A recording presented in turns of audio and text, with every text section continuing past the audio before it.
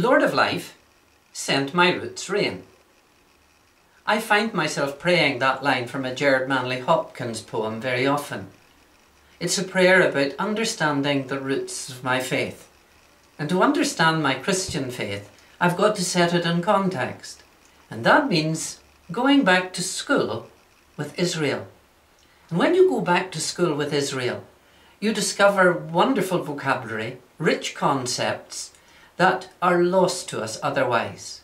In God's kindergarten, like the book of Leviticus, we learn how he deals with Israel Israel becomes the anvil in which he hammers out the vocabulary of so much of our faith with words like Exodus, redemption, sacrifice, covenant. It's in the course of School with Israel we learn wonderful concepts like service, avodah, avodah. We learn the rich history of the thread at the corner of the prayer shawl. What did that woman reach out to touch when she touched the hem of Jesus' garment.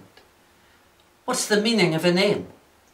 We'll learn so much if we spend a little bit of time going back to school with Israel.